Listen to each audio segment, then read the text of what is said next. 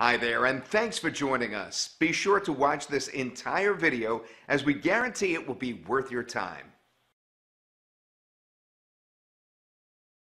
7 Important Rules for Choosing a New Bowling Ball When choosing a new bowling ball there are a few main things to consider before you purchase your new ball.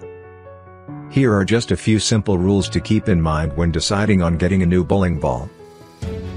Rule number 1. The type of bowler you are.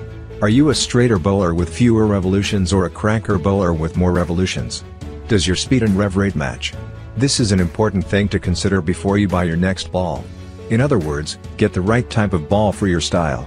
Generally, a straighter bowler will use a smoother, arcing, control ball with a solid tight cover stock. Higher rev rate bowlers will usually get the long and strong or a skid flip type bowling ball. Rule number 2. The lane conditions you are bowling on. This is an important part of picking out the right ball for your style. In other words are your lane conditions oily, medium, or dry? In addition, the type of oil pattern you're bowling on, in other words, match the type of bowling ball to the lane conditions. Rule number 3. The surface of the bowling lane. You will need to keep in mind the surface of the lane in your next bowling ball purchase, are you bowling on old wood lanes or a synthetic lane surface? Rule number 4. The surface of the bowling ball. This is an important factor because there are so many different types of bowling ball surfaces in today's game. A rule of thumb, a dull surface bowling ball equals smooth and control. A shiny surface bowling ball equals snappy or long and strong, a dull bowling ball will be more consistent and a shiny bowling ball will be more erratic. If your center has dry back ends, a shine pearl ball might work well. A little too much carry down and the smooth duller surface may work better. Rule number 5.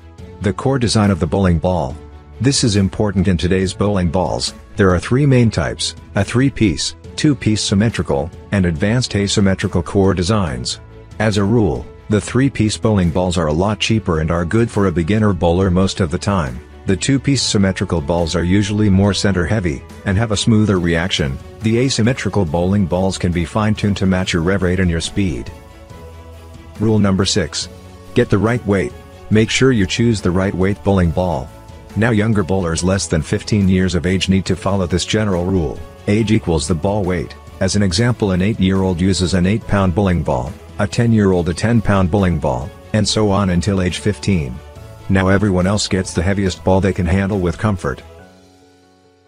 Rule number 7. Type of cover stock. In today's game, there are many cover stocks to choose from. From plastic to reactive resin. We do not endorse plastic bowling balls unless you are bowling on very dry lanes. However, we do recommend you at least use a urethane cover stock even at the beginner level.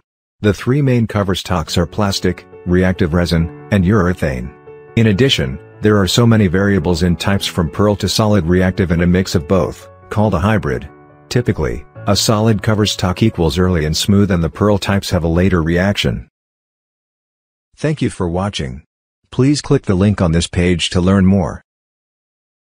Thank you for taking the time to watch this video. Simply click the link on this page to learn more.